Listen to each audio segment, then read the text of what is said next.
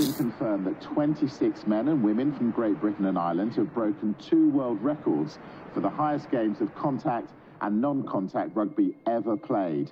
An expedition featuring former internationals Shane Williams, Lee Mears, Ollie Phillips, Tamara Taylor, as well as 22 brave challengers climbed 6,500 metres up the world's tallest mountain, Mount Everest, to successfully complete a challenge that puts them to their physical and emotional limits, all to raise money for charity. 26 challengers, a year of preparation, a journey into the unknown. In April 2019, a group of strangers came together to undertake an adventure in one of the most inhospitable places in the world. When you're on that mountain, it's your own head that's going to get you up there. 90% success is showing up, and it's going to be showing up in your head.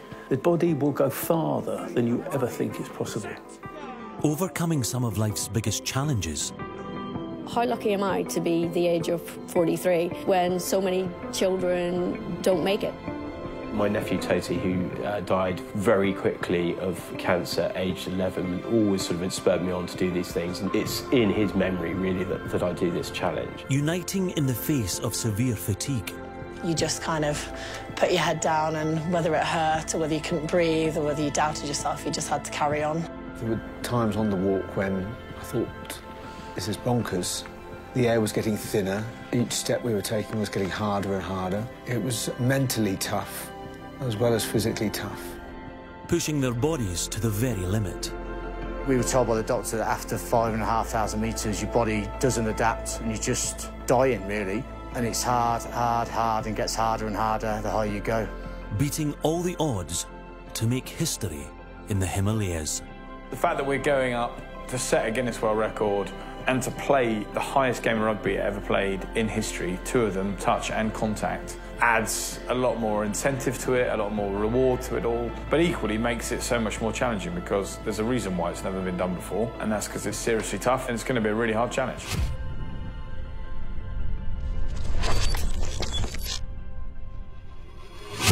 Whoever you are, wherever you are, the word Everest evokes an image. The thought of a mountain standing above all others, one of Earth's greatest challenges. At the height of 8,848 metres, the mountain was first declared the world's highest peak in 1841 by land surveyor Sir George Everest. Mountaineers from all over have tried to stand on top of the world since the early 1920s, with Sir Edmund Hillary and Sherpa Tenzing Norgay first achieving the feat on the 29th of May 1953. In the 66 years since, only approximately 11% of summit attempts have ended in success, with the mountain claiming more than 300 lives. With less than a third of the equivalent breathable oxygen of sea level, extreme altitude sickness and exhaustion make climbing the mountain one of the hardest things even an experienced mountaineer can do. So for the 26 inexperienced men and women of varying ages and backgrounds, reaching advanced base camp 6,500 metres up the north side of the mountain was going to take an extraordinary level of commitment and determination. Spearheading the group are four former international players, including legendary Welsh winger Shane Williams. What I love about the challenge is the fact you're doing something out of your comfort zone. When I retired, I didn't really have anything that I could set my mind to that, that I felt was a challenge. And the first thing I did was the London Marathon. Now, that was really tough because I'm a sprinter, having to change my whole dynamics and my training to try and run 26.2 miles. After that, I did an Ironman. Now, that nearly killed me. But I'm always looking for something bigger and better again. And, you know, I seem to have this progression where I've been testing myself now for a couple of years. But doing Everest is definitely the pinnacle of my challenges so far. So I'm just hoping that, uh, you know, I can be mentally and physically ready. A lot of aspects are similar to rugby, I'd say. The fact that we're a team is very much similar to playing rugby. Getting to the top as well, we're all going to stick together. We've got to help each other out when the going gets tough. So I'd like to think that all the values that rugby brings are going to be needed on this trek. The challenges don't come much tougher mentally or physically. You know, I've, certainly seen enough documentaries and, and TV programs and films, as far-fetched as they are, obviously, to know that it, it, can be quite a dangerous trek, of course. But what comes with danger is excitement. You know, I'm looking forward to it, excited, A little bit nervous, not as nervous as my wife. She keeps reminding me that she's not sure if it's a good idea. When you have your own children and family, you know, I, I suppose the importance of charities like the Wooden Spoon come forward and prove to you really that I'm very lucky. We're all healthy and happy in this family and that makes me even more determined to help others out. There's a lot of families out there that aren't as fortunate as me. Certainly a lot of children that unfortunately are very poorly and that's a huge factor in why I want to do this. I'm very lucky in that I've had a, a good career in rugby but I appreciate as well that people aren't as fortunate so um, that's why I do these.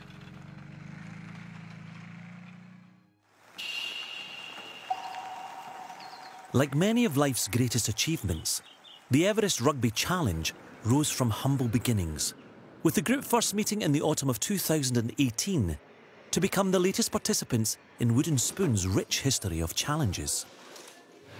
Your journey will take you to Advanced Base Camp, which is at 6,300 metres uh, and the games, I say, will be a little bit higher than that, probably around 6,500 metres, which is very, very high. So that's over 20,000 feet. Wooden Spoon have always been involved in, in challenges and uh, playing rugby in unusual places. In 2015, we took a team of intrepid explorers to the North Pole to play rugby. This time we want to be bigger and better. There are a number of things we could have done. We could have paddled the Amazon, crossed Africa, played on the equator, played the hottest game, the coldest game. But I think the uh, obvious answer is always going to be let's play the highest game. So let's find out. Where was the highest game of rugby ever played? Steve Prescott Foundation played at uh, just over 6,000 metres. We need to play a bit higher, so we're going to play rugby on Everest. We're based here in the Lake District. The Lake District is really good for getting out in the hills and it allows us just to give everyone a bit of an, an eye-opener of what being out in the hills is like. Altitude is probably the scariest part for everyone because they don't know how they're going to actually react at altitude. And there's lots of ways that we can manage that. There's lots of things that we can do to help. The program's set up in a way that, you know, the acclimatisation progress is, is very slow and steady. We always have lots of different characters. We have people from all over on our expeditions usually, and at the end of the day, it's a great leveler. You know, everybody's going to be doing the same thing once they get there. It was interesting because uh, when a lot of new people often get together, it's often a bit cagey where people are weighing each other up and trying to see who's who and you know if there's any agendas, that sort of stuff, any egos that need to be managed. Thankfully, there was none. We actually bonded very, very fast.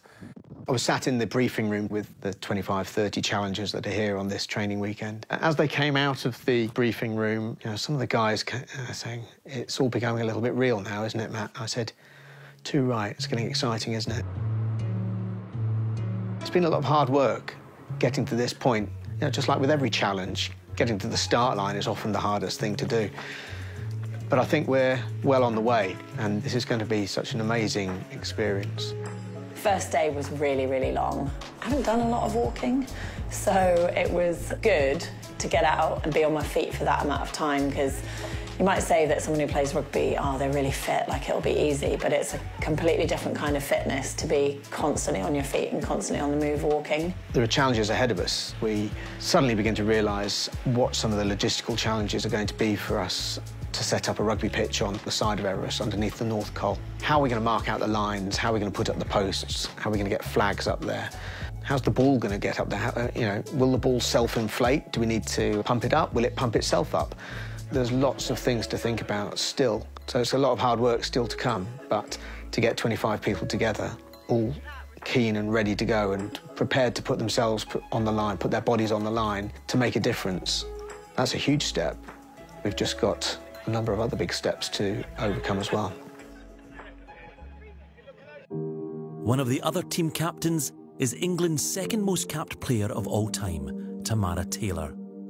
The 37 year old second row earned 115 caps for her country and combines her role as a player with coaching and has a long association with the wooden spoon. If someone says you've got an opportunity to go somewhere like Mount Everest, it's probably only going to happen once in your life. So I felt like it was an opportunity that I couldn't really turn down. I've worked alongside the charity Wooden Spoon for quite a long time as an ambassador and I love what they do and to be able to do something a little bit crazy and scary um, on their behalf to raise money was also like a no-brainer really for me. the projects that I've been to. They're all so different, but they all make such a huge impact on the area that they're in because they're chosen specifically for that area or for that school or, or you know that organisation. It's just amazing to be able to see literally where the money that you're raising has gone and the people that it's helping. When I got the call from Matt, I was in and around finishing playing a bit of rugby, had an ankle reconstruction and was feeling pretty sad. So having something where I knew I was going to have to work really hard to raise the sponsorship money and the fundraising, be scared, be challenged in a different way, it gave me something to kind of take my mind off reality. I think for me it's going to be quite a, a journey of how I interact with other people from different backgrounds and I think just having that time away from everything that I've been doing, it's probably either going to break me because I'm going to be spending so much time thinking about it, or it'll make me because I'll actually figure myself out and sort out what's next. But whilst Taylor has overcome all that's lay before her on the rugby field, mountains provide an altogether more intimidating challenge. That's definitely my biggest worry, is that I'm not going to be able to complete the challenge because I get sick. But there isn't a lot you can do apart from, you know, go steady away and, and try and make yourself as, as best prepared as you can before you go. I think probably as a sports person who tries to control the controllables, it's quite scary to not be able to control how your body might react to something and without really any way of knowing until you're up there. Um, and then when you're up there, it's a bit late. So I think I'd be lying if I said um, I wasn't worried, and that's definitely my biggest concern about the challenge is how I'm going to react to the lack of air. Well, there'll be air, but not enough oxygen.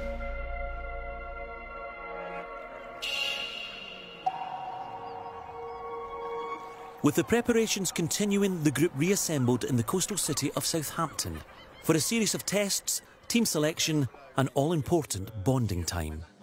We've taken the guys through a series of health tests, so some really basic but really important tests that need to be done before going to altitude. So taking a look at their blood pressure, their lung function, and then tested them actually at altitude. So tested at 4,000 metres and at 5,000 metres and seeing how they respond to the lack of oxygen in the air to give us a bit of an idea of how they're going to respond when they actually go to high altitude you might go to altitude and just experience shortness of breath, mild headache, and it's unlikely that people would go to altitude and not experience anything like that. Kind of going up from there a little bit, you're starting to look at symptoms like nausea and possibly going on towards vomiting. And those kind of symptoms, whilst they sound pretty unpleasant, are not uncommon if people haven't prepared particularly well because there are a lot of factors that feed into altitude sickness. So the lack of oxygen is one thing, but then also things like dehydration, poor nutrition, that kind of thing can also feed in. What's a little bit more serious then is if you're moving on to symptoms beyond that and you're not taking care of that and actually start getting edema either on the brain or, or on the lung, so fluid on the brain, fluid on the lung, which is a little bit more serious. And that's what, what you need to be preventing. It's funny when you talk to people about what you're doing, it's kind of the first thing they say. They don't say, oh, how fit are you getting for it, or how many hours of walking have you done? The first thing they say is, how are you going to manage with the altitude? And I've never been in that high. So, yeah, definitely that's been the fear, especially when people say, you don't know how you're going to respond, and, and they start explaining what altitude sickness actually is. It's, uh, it starts to get a bit scary. With the testing complete, it was time for the Fleece presentation, where the challengers found out not only who was going to be their captain, but also friend from foe, in a rugby sense anyway. Finding out whose team we were in, I mean, that was quite exciting. You feel like that day at school when you're being picked for the team. It's exciting for people to know who they're going to be playing alongside and, and what they're going to have to do while they're up there. At the same time, you know, it all kicks in. We've been talking about it a lot, but all of a sudden you're in a team and you're going to have to go on Everest and play a rugby match, which is bizarre, really, when you talk about it. So I think it's setting home now that we've got a massive challenge ahead of us, but at the same time, it's more exciting. Should be one of those in focus. Cheers. With just three months until the start of the expedition, the group gathered one final time to test themselves in some of the United Kingdom's most extreme conditions. The minute New Year came and you look at what you've got coming up in the year and you got the Everest Challenge, it became very real very quickly. I think the bonding has been fantastic really from the start. But when you're out there on the mountain and it's cold and wet and you start to fatigue, I think it's quite interesting to see how the group interacts with each other. So I think that bonding that we have now I think it's really going to come to the forefront when we're out there doing the challenge. The plan today was that we wanted to have a bit of a test for everybody. Not only is it important that we come up to Glencoe, to up into the sort of Highlands of Scotland, to have a bit of team building, but it's also important that we get out and just experience a little bit of how we're going to manage ourselves on the mountain and deal with things like the cold and boot management, kit management, all that sort of stuff. As you can see behind, there's some decent snow up on the hills. So that was a good, good test for everybody.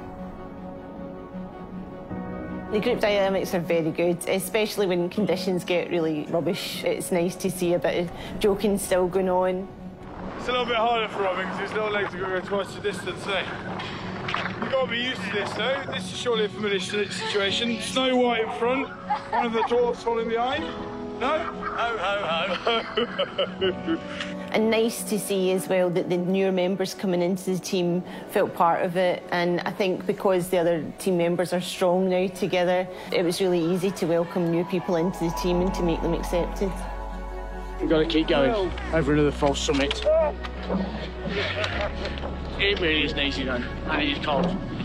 Probably the most realistic training we've done so far. I'm sure this Everest will be like this hill on steroids, but definitely enjoying ourselves today.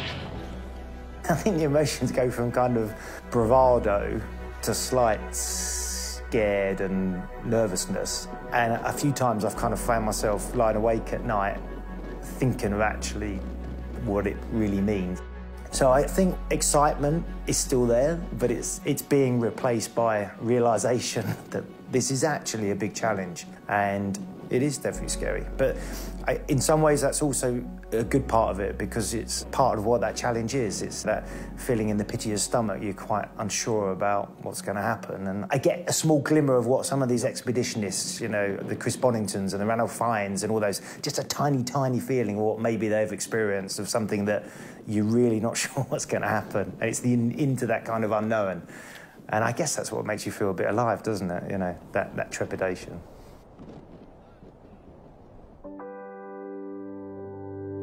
For each of the 26, Everest presents a unique experience. But for some, the strength and resolve to overcome such a big challenge is driven from some of life's greatest adversities.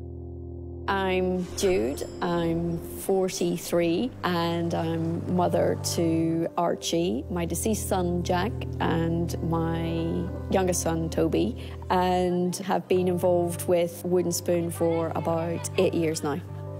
My boys have played rugby. They were playing for Bishop Stortford Rugby Club, and I played hockey back in the day. But with a grueling work schedule, I stopped playing sport for about 20 years. And then moving out of the city, there's an opportunity for more time, you can commit more to a team. There's some flyers being handed out around the sides of the pitch whilst watching my boys, and I just went, ah, how amazing, want to do that.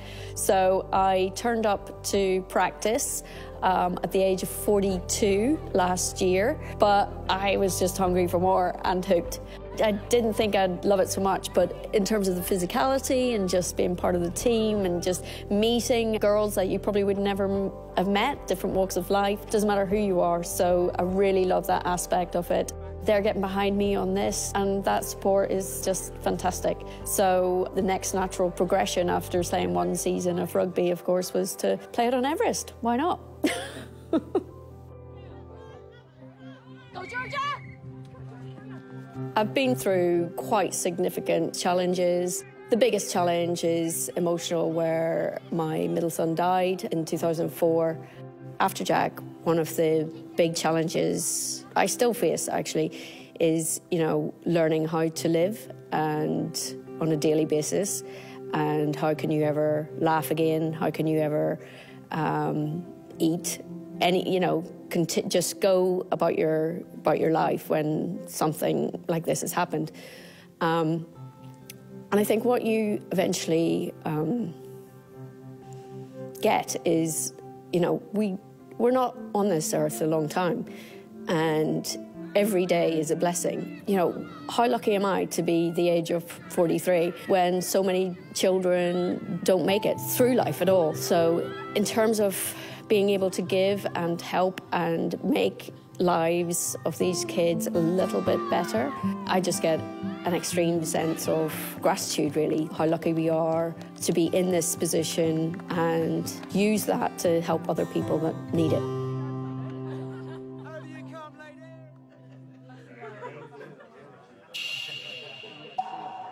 With months of physical and emotional preparation complete, the final group of 26 men and women assembled for a fitting send off for a journey into the unknown.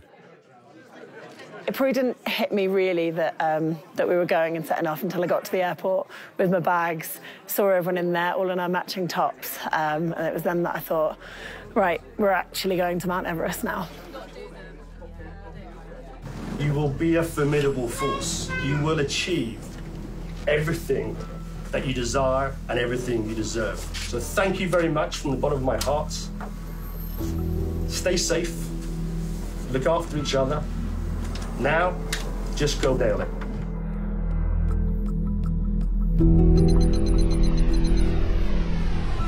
With the expedition finally underway, the team travelled for two days to reach the Tibetan city of Lhasa.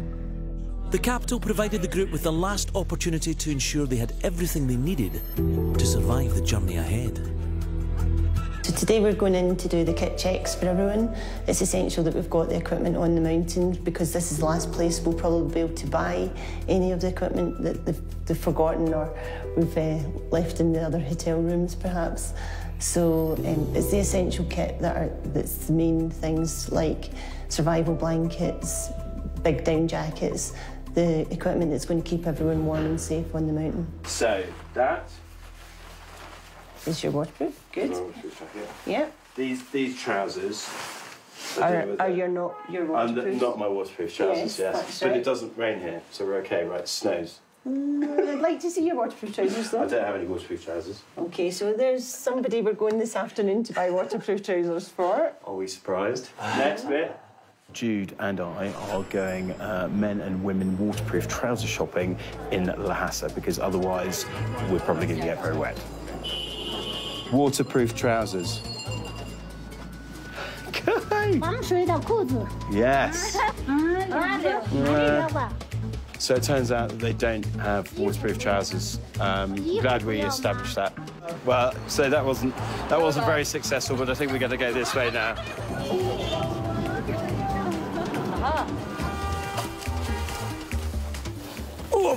Altitude affecting me. Ugh. Yeah, perfect. Considering I've got considering I've got quite a lot of stuff in my pockets. Three ten. Yes. Thank you. Thank you very much indeed. Bye bye. Well, mission successful. Victory! With the final details sorted, the team set off on a four day journey to finally arrive at Everest Base Camp. But not before getting a brief sample of what awaited them in their world record attempts. We had a couple of stop-offs on the way because we've, we've gone up quite a height. So we stopped off at a really nice lake. We're, we're quite a bit above it, so we're looking down onto it, and there's a big car park area. So obviously a scrum came out. There's a bit of a bit of competition there, just practicing ready for the sevens game. A couple of lineouts. So myself and Jess decided that we'd lift Carrie um, because she's about this big. Gave her a couple of lineout goes. Shane Williams, then got himself involved. He's probably not a natural uh, line-out jumper. Wasn't that happy in the air. And then we decided we'd have a really quick go of uh, five-a-side touch. Genuinely probably lasted about maximum a minute. And uh, a couple of us checked our heart rates and everyone's hearts were beating out of their chest. Um, it was fun, but I think it was also made everyone a little bit of a reminder in the back of their heads that this isn't going to be an ordinary game of rugby that people are used to and competition's going to be high, but actually our ability levels are going to be quite low. So um, a few more of them and I think we'll be, we'll be prepped and ready. The group gained over 1,600 metres in altitude in just four days. To put that into perspective, that's the equivalent of roughly three and a half Empire State buildings stood one on top of the other. With the effective amount of breathable oxygen in the air being approximately half of that at sea level. Little wonder then that some members of the group soon started to struggle. shortage of breath, headache, which has kind of been there for a while, but you kind of get on with it. And um, yeah, little bits of tingling here and there, and suddenly sort of catching up with your breath as well. But the best thing for morale was the thought of finally seeing the mountain the group are attempting to climb. If only the weather would be so kind. We are at the top of a big hill, which supposedly gives us a view of five highest peaks in the Himalayas. Unfortunately, today we're lacking a little bit of luck, which means we can't see them. It's a shame, is it? We should have been able to see it yesterday. It's basically teasing us. We're so close to seeing Everest, but we haven't seen it yet. And as the team made their approach towards base camp, they finally saw what's known locally as Mount Chomolungma, but globally, simply Everest. I was overwhelmed just seeing Everest for the first time because we've been a long time on the road waiting to get here. From about five miles away, we started to get a glimpse of it. So when we saw it for the first time properly, and it's just overwhelming. It takes your breath away, it really does. As soon as we came around the corner and seen this mountain, we knew straight away this was Everest because it just seems to be 10 times bigger than anything else. I've seen nothing like it in my life. Well, here we are. We've made it to base camp, Tibetan side, Chinese side. Just really happy to have made it here after the journey. Actually felt a lot better. Great journey, spectacular sights. Um, now we're here at base camp. Hope you can see everybody's just getting settled in as well. And then, as hopefully you can see in the background with a bit of cloud on it, is Everest, which the peaks we've had of it so far have been amazing. I can't wait till hopefully the cloud clears and we get a bit higher to look at it. But it's amazing. I think we're about 5,200 meters, and basically we have just spectacular views, and it's great. And uh, can't wait to get going, actually. I've seen a lot of mountains and I've, I've looked at them and thought, that's not too bad, that's not too bad. But when I saw Everest, I realised that you know, this is going to be tough. It's definitely hit home now how difficult this is going to be. It's going to be interesting to see how it goes. You know, we still have to take it easy. Got a couple of small tracks to do before we even attempt intermediate camp and then, um, then ABC. Uh, so I think we're going to find out very quickly how tough this really is going to be. Located under the face of Everest, at the edge of the Rongbuk Glacier, Base Camp is its own community. The vast collection of tents provides the basis of every successful climbing attempt up the northern side of the mountain, but takes even the most seasoned of mountaineers a little getting used to. This is the inside of our tent at Everest Base Camp, and as you can see, I am an interior designer, so I have uh, made a few little alterations to make it feel nice. Well, we respect the Tibetan way of life here. They believe in the flags. They're important. They've got them hanging everywhere, all over the place. Uh, you'll find them all the way going up the mountain. We've, we've seen them all along the journey. And what it is, they, they say their prayers, they put the flags out and they blow in the wind. And what they believe is that the prayers are being blown to their gods. This big dome tent here, um, this is where we have all our meals. I wasn't expecting palm trees at Everest Base Camp, but it does make it feel a little bit special. I think it's most important that we have somewhere that we feel safe, feel comfortable, we, we can relax, we can start to appreciate where we really are. As well as hosting the group for all of their meals and meetings, the mess tent was also the scene of some of the team's more interesting bonding techniques. We're in our mess tent, which has become my salon. totally confident. Look at him. Looks like a natural hairdresser. Jaw length? No, thank you. Shoulder length? No. Okay, about here. Lovely. So that's taken off about three inches at the back. Lovely. First cut's the deepest. Oh, Scissors aren't the best either. Wow, that's a lot you've cut off, isn't it?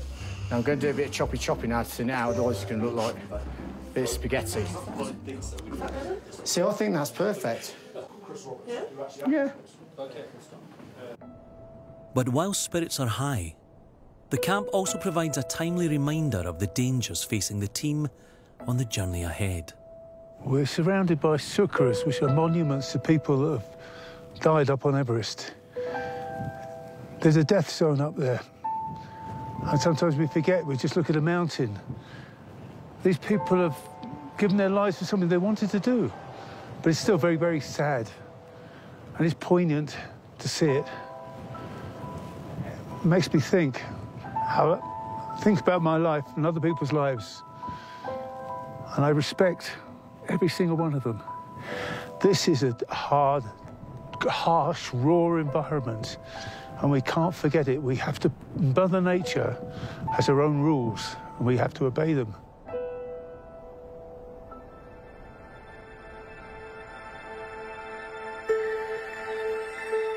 With the team well and truly settled into camp, attention soon turned towards getting ready for the next stage of the challenge. What we're going to do is start taking a walk up towards intermediate camp. I think that's going to be the best move to let us get used to walking with each other as a team um, and just getting used to our altitude pace, uh, which is, as you know, quite a slow pace, yeah. So we want to get used to how we move as a team. The start of the journey was really getting on that plane. Coming to base camp, that felt like the start of the challenge. We're all itching now to actually get our boots on, get our walking poles out, and go into that wilderness of this beautiful mountain range. We can see it, we can feel it, we can touch it, but now we want to be in it. We start getting our acclimatisation walks in now to go higher, and it's a case of each day just trying to get a bit more height in. Very difficult to describe quite how difficult it is. Uh, I remember being at home, showing a lad of work with how slow he'd be walking. He just didn't believe me. Well, I think we're probably about uh, 5,300 metres. As you know, our game's going to be at 6 7, so we've got a lot of adapting to do. We're walking on a glacier, which is amazing, but, uh, but my lungs are burning as well. The altitude's the one thing that's continuous, it keeps getting higher. And with that comes the obvious effects. So you've got a mixture of excitement, which is great, but then you've also got this sort of blended effect, I suppose is the word, which you're not prepared for, and sometimes that magnifies in a weird way. Altitude can be quite rough on the body. We know from our research that one in four people will get affected from altitude effects from as low as two and a half thousand meters. Altitude sickness is different from anything I've ever experienced. And I can't put into words how it is. It's not just being sick because you're drunk or being sick because you've got an upset tummy. It's, it's a very bizarre thing. It's like it catches your breath sometimes. Some, you could be almost doing nothing and find yourself suddenly out of breath for no reason at all. Or you've done something like as simple as bending over to put a shoe on, and you get up with a bit of a head rush and massively out of breath. So it hits you at different times. Any small amount of activity has a maximum impact on it. And I, I guess as we go higher, that will become more and more apparent. And the effects were plain to see. With various members of the group unable to complete all three acclimatisation walks. But it was one of the captains that had the most severe reaction. Well, during one of our training trips, Lee felt unwell, whereby he was short of breath. He became slightly dizzy, and at that point, I decided it would be a good idea to take him down myself. In hindsight, that turned out to be the best decision because he needed a specialized treatment whereby he was giving specific medication that we use in situations like that, and he was also commenced on oxygen.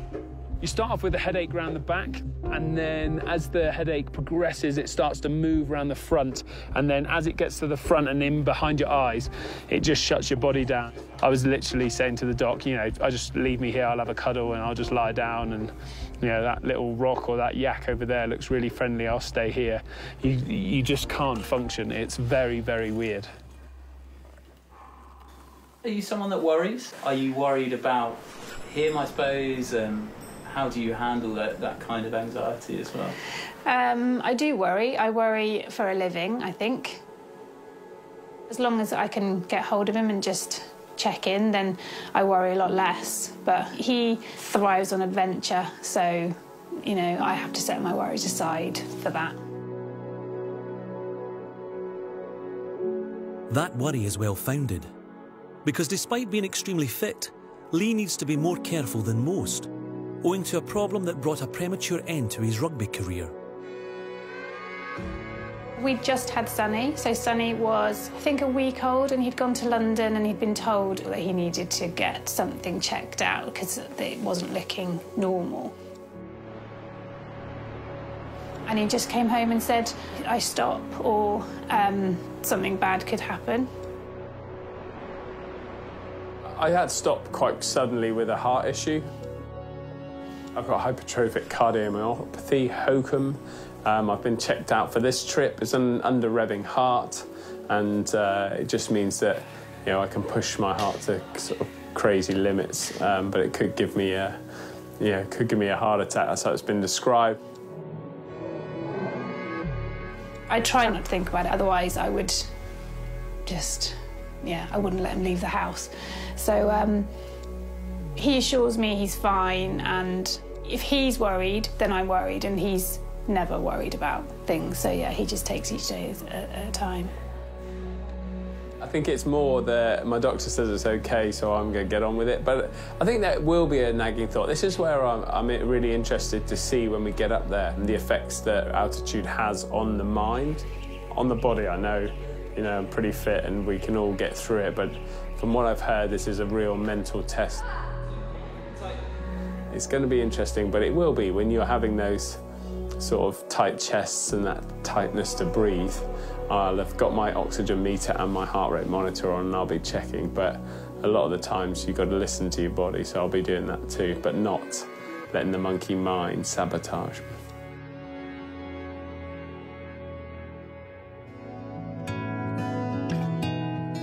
Nowadays it's so different. When he used to go to Australia, I used to write him a letter and I'd get one letter maybe a week, maybe two weeks, and now it's texts all the time and it's FaceTime. It's so much easier, but it's still it's still a long time. And now with the boys, time's different to them. So daddy being away for three weeks is is, is an eternity for them actually. Sometimes I used to put a little something in Lee's bag that he would find when he gets there, so something at the bottom. Um, I don't know what we'll put in, but we'll, we'll, we'll probably put a little something in to remember us. With Lee struggling on the mountainside, his family's surprise gifts were just what was needed to lift morale. I've got these close by my bed every day. I'll open them for you. The first one is uh, from Sonny, and he's got a picture of me. Um, I have to walk up Everest and then come down the other side to come home. Then we've also got uh, Felix. He's got a tank um, he's obviously seen the Chinese and Tibetan army around like we have. And then Isaac gave me a This Is What You'll Look Like. Pretty good, to be fair. He's actually given me long legs, so I'll take that. Whenever you do this kind of stuff, you, you know, I'm always thinking, am I setting my, uh, my kids a good example? Raising money for charity, pushing yourself out of your comfort zone. Whoever drew this one's got my bed on the side of the mountain. Um, my bed lower down a tunnel that I've got to dig so that I'm safe. A little library. Uh, obviously, he's quite educated, Sonny. And then a lovely letter from my good lady wife, which is uh, which will stay private. Otherwise, she'll beat me up. With various members of the group struggling, the expedition management were forced to make a difficult choice. The decision to play at base camp was actually a tough decision because what we wanted to do was play it as high an altitude as we possibly could because so it couldn't be broken in the future. Some of the guys just physically weren't going to make it. One of our team captains, despite being one of the fittest people here, bar none, just struggled with the altitude. So we made the decision to play down here at base camp, which still breaks the world record by a long shot, which is amazing. The whole ethos we've tried to push out throughout this is that we are a team and we do everything together as a team. We want everyone to go back to the UK as Guinness World Record holders, hold their head high because they deserve it. The pitch is 70 metres by 50, which is slightly different to the pitch we're going to set out higher up. We're just marking out the uh, important lines, which are the dead ball, the try line, 22, halfway line. First time I've actually marked up a pitch. I think we're doing okay. I think Rob's kind of calculated it all right. It does look quite rectangular. It looks a bit wide for my liking. I think it's a lot of pitch to cover for for six players, considering we're at is it 5,200 metres altitude. Mixed touch rugby. Good luck, guys. The flags were up, the lines were laid. All that was needed were the players. But before the match kicked off, they gathered as one to mark a special occasion. Gang, it's a pretty special day today. We're going to set a Guinness World Record, but even more importantly, someone's birthday in this group. So within tradition, I think we should sing happy birthday to our very own Leslie. So three, two, one. Happy birthday to you. In order for the match to count as a new world record, it had to meet a strict criteria. Played on a full-size pitch under all touch rugby laws. And it didn't take long for the birthday girl to make an impact. I've been watching Shane Williams do the jig, so I did a little bit of a jig around uh, Rob Calloway, and he didn't stand a chance. I got my first try, my first game. With the match in full swing, what followed was a surprisingly fierce competition, as both sides overcame the lack of oxygen and tricky playing conditions to end the contest even on the scoreboard. We've just uh, played the highest game of touch rugby in history, and it's ended up in an honourable draw. It's been a long time in the planning, you know, more than a year. Touch rugby on Everest. Fantastic, and what a great view we've got up here. Everest in the background. There's no better stadium in the world than that. It was a big relief to actually get here and get it done.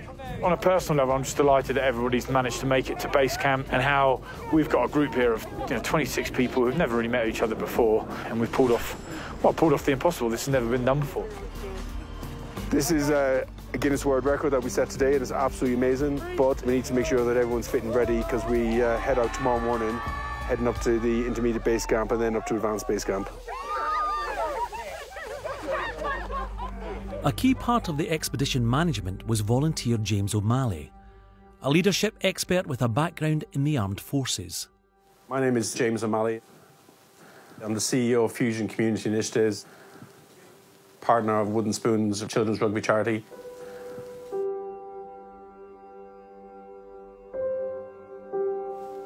My family are used to me coming up with crazy ideas, and uh, the Good Ideas Club is what it's known as a lot of the time. My wife kind of rolled her eyes when I said I'm going to climb an Everest and then I'm going to be part of the leadership team as well. My kids think it's uh, an amazing thing that I'm doing, and a lot of my friends have been extremely supportive. My mum uh, doesn't want to know anything about it till I get back, which is uh, pretty much the way she was throughout my military career as well. So that's fine, that's just her way of dealing with it. And um, yeah, we'll all get back safe. I worked in uh, operational combat zones throughout the world and humanitarian relief as well served Iraq, Afghanistan, finished up in um, Somalia doing counter-piracy for the EU, and then I was the EU lead medical planner for the Ebola crisis. So um, I've had a very varied career. And one of the key things I wanted to do when I left the military was to make a difference.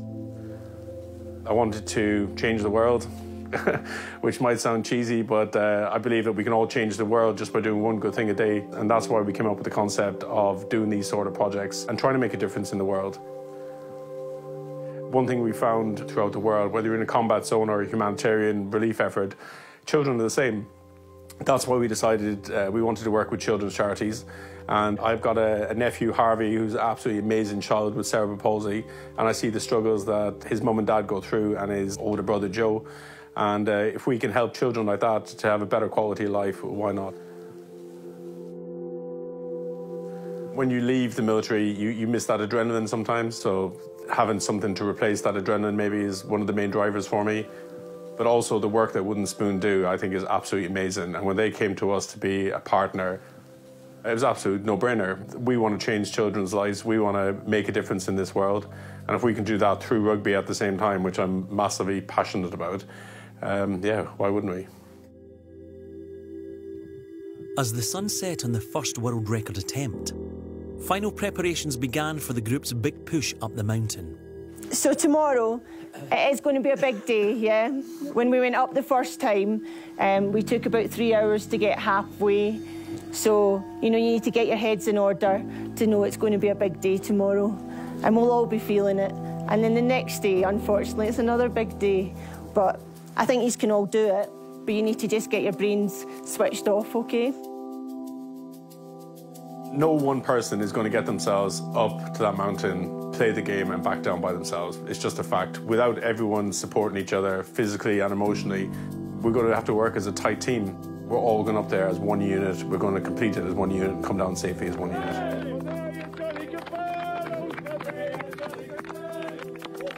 So it's 9.30 on the 26th of April and we finally set off, heading for intermediate camp.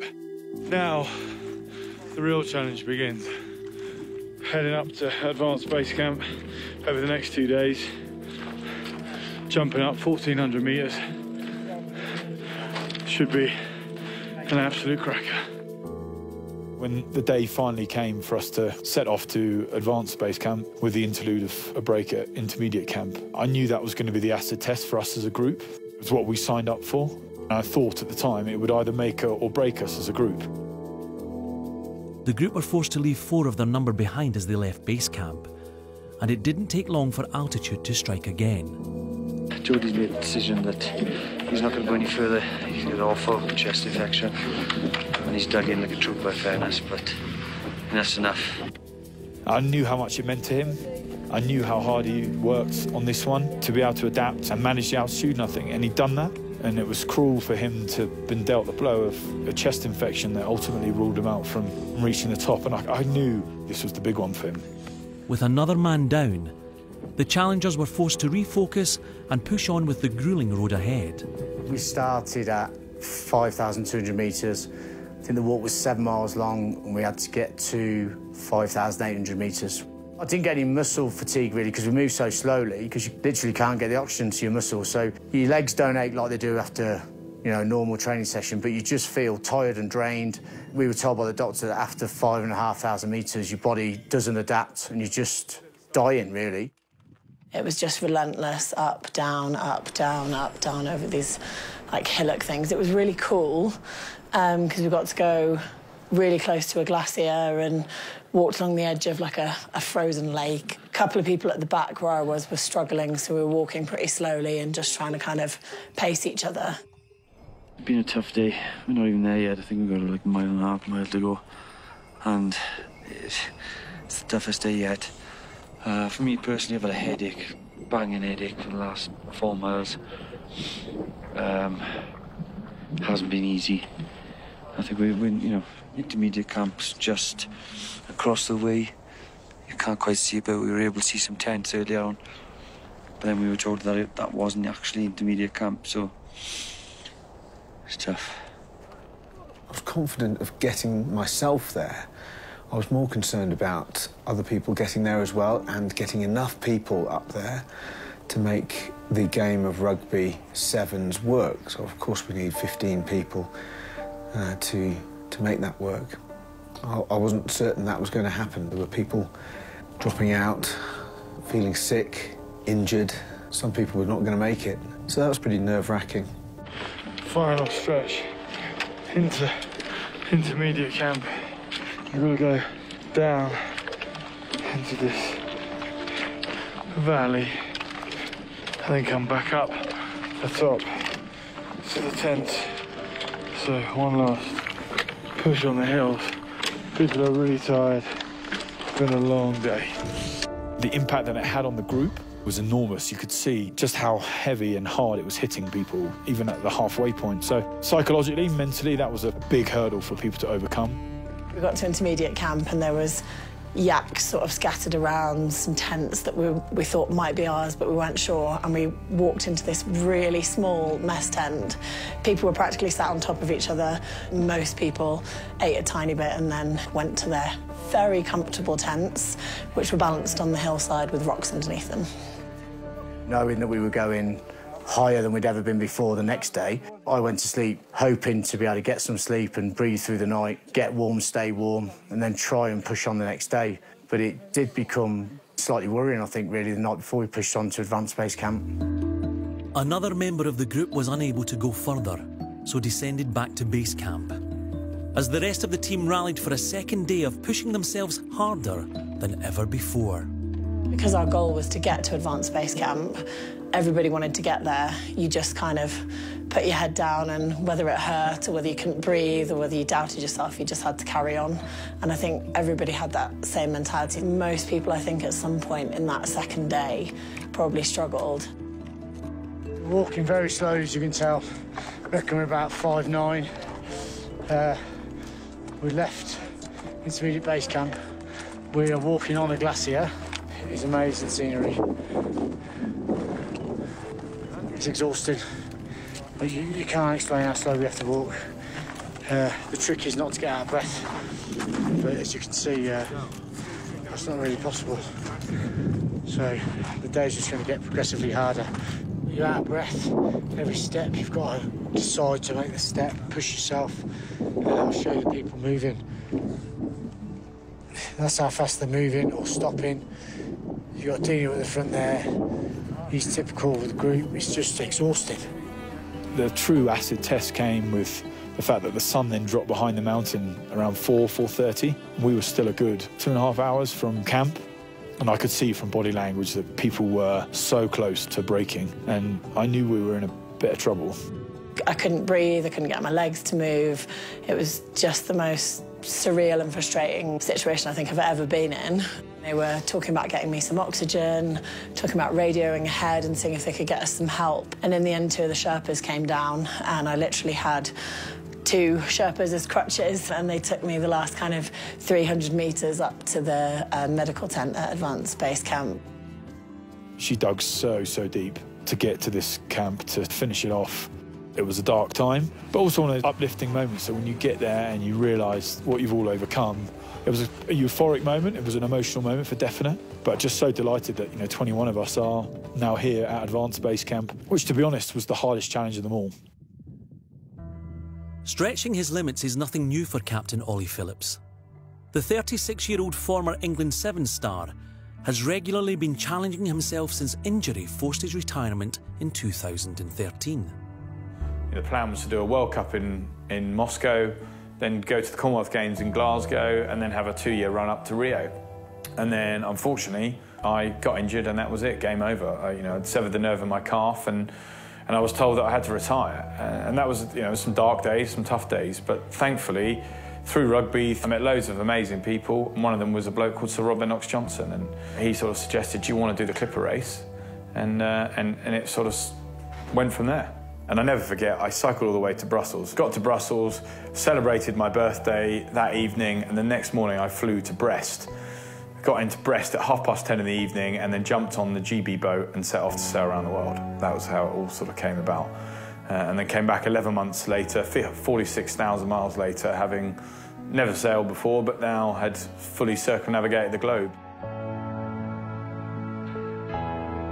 Loads of other challenges came. I cycled across America. We've climbed a few mountains in between that, Mont Blanc and uh, uh, Kilimanjaro and other ones. Now, there's this hunger inside me to do stuff that sort of pushes my boundaries. And the Wooden Spoon had got in contact with me and they said, look, you know, we're going to try and do this North Pole game. Would you be up for it? And I think the biggest learning from all of it was if people go off on their own, do their own thing, a, they're going to get themselves into trouble, and B, they're going to get the group into trouble. Stay together, work together. Know, after this trip to Everest, I know there are going to be 26 people who I can see when I'm 76 and say, do you remember that time when we did this challenge? That's what I love. I love the fact that there's always going to be that connection. Life is about stories, and the more you can have, you know, the better.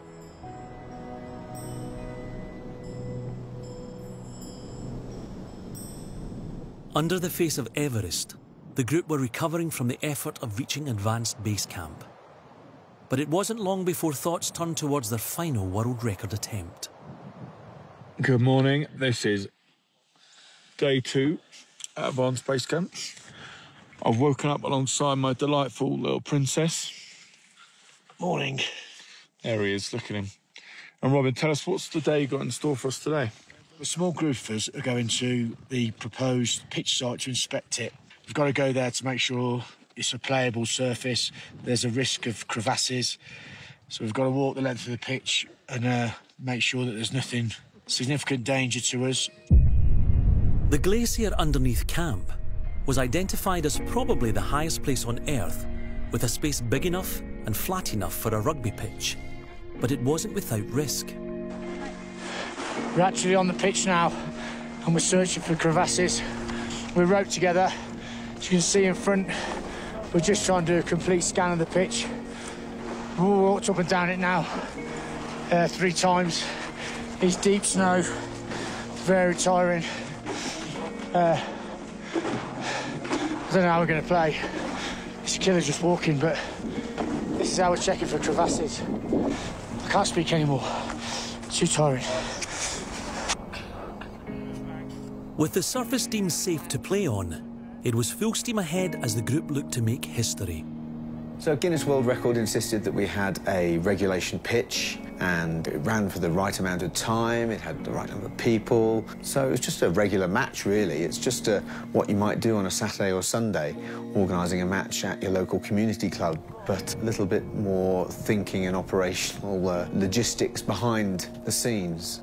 The whole party joined in, setting out the pitch, putting tape down and erecting the posts. You know, everyone's tired, resting and leaning on shovels and then doing a bit and doing a bit more. But it went well. It was a real team effort to get it ready.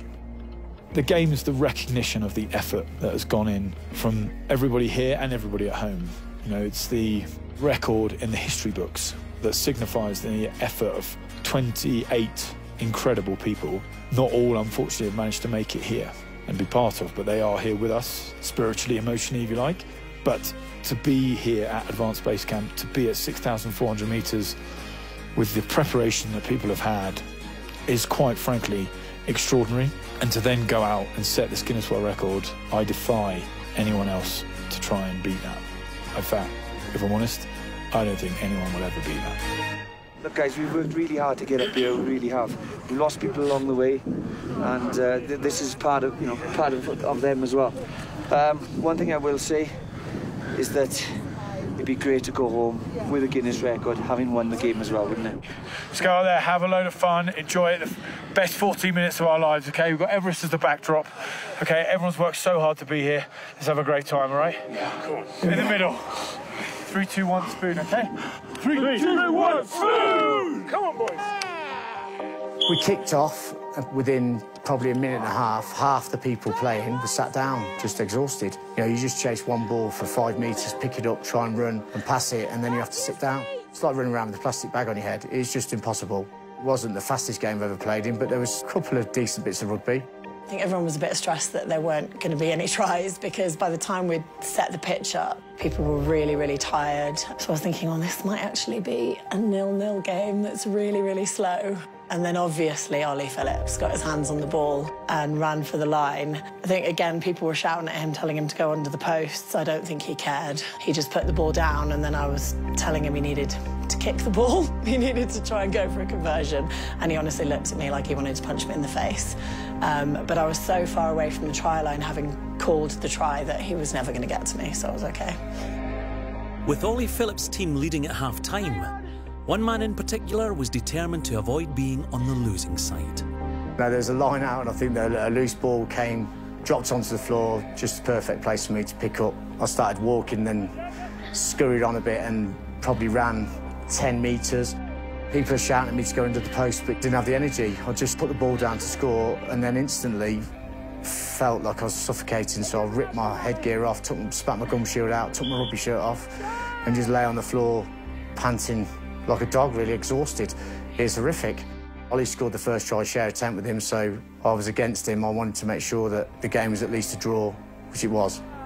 Blew the final whistle and I looked around and again it was like something out of a war scene. People were just on the floor, some people were hugging. So hard, so hard. Just nowhere. Pitch is so tough.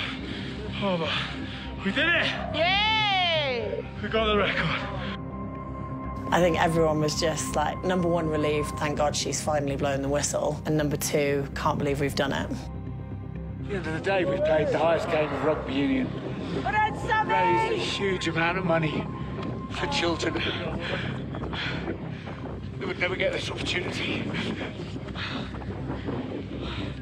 Rugby in unusual places is special, you know. Rugby's in our veins, and uh, I didn't think that when I joined Wooden Spoon four years ago that uh, I would have uh, been part of an amazing group of people that have played this game at this altitude. Come on, Tammy. Come on, Tammy. Three cheers showers, lads. nice, guys.